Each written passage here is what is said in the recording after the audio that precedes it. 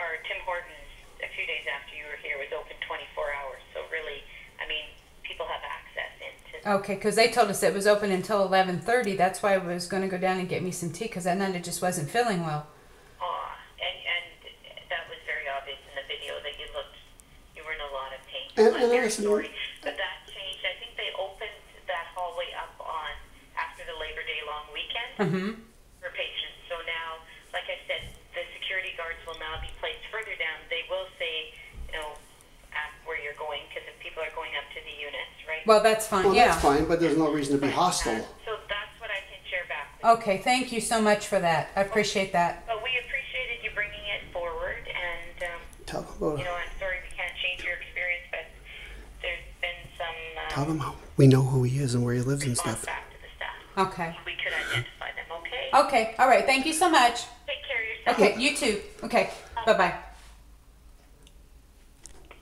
All right, what they don't understand, that was the hospital. They've been spoken to, reprimanded, whatnot. What they don't understand is that we uh, procured a name for, for ourselves on our on our own investigation.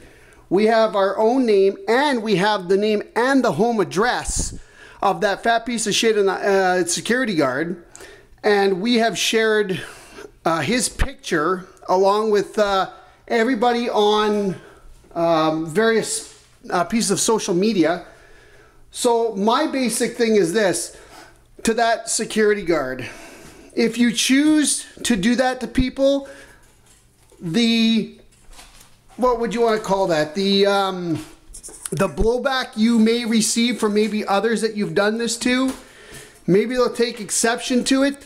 And whatever happens, happens. It's not my problem. I would suggest you watch your ass and don't you people you don't know don't talk to them that way because some of us have a way of dealing with people in a way where it's totally legal, but in the end you get burned.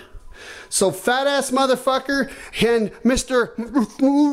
who lives at